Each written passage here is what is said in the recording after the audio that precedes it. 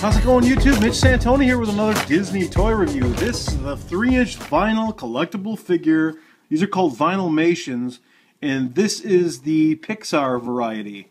These are basically blind boxed, and you can see some of the characters you can get here. And there's a figure called a Chaser, or a Chase figure, as I like to call it.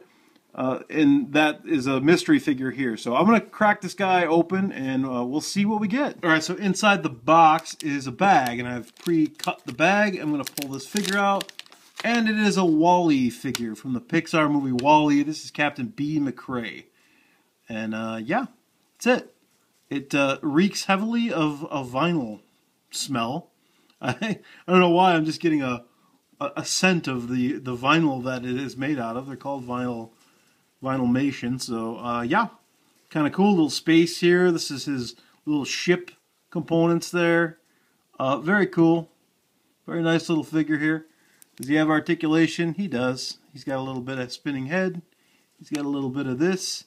His feet, do they do anything? Not really. So that's really it. Little Disney thing on the back, and then inside the bag, he's got, uh, looks like just a little bit of a hat. So it does come with his hat. That's kind of neat.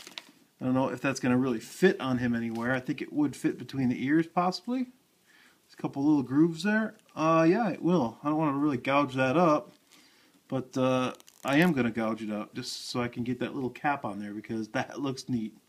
Excellent. So folks, that is going to do it. This has been Mitch Santona. You've just seen a Disney Pixar Vinylmation this is from Series 1, from the Pixar Series 1. This has been Captain B. McCrea from WALL-E. Probably going to have a few more of these on this channel. I, I want to try to get maybe just the Pixar collection done. And I'm even going to try to hunt down that Chaser, which I believe is the little ball. So that's it. This has been me. Thanks for watching. Take care, guys. I'll see you.